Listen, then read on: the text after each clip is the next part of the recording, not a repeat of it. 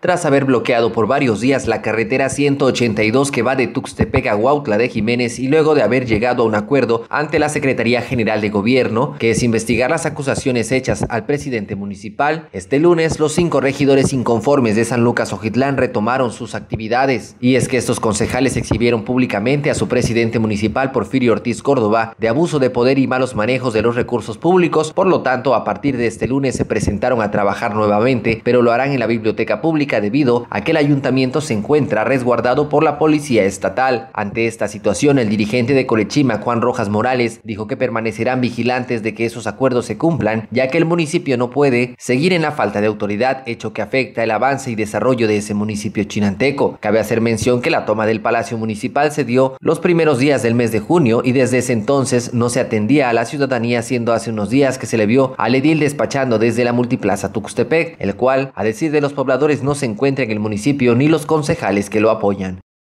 Con información de Alejandro Morales reportó Ernesto Bambolí Joven.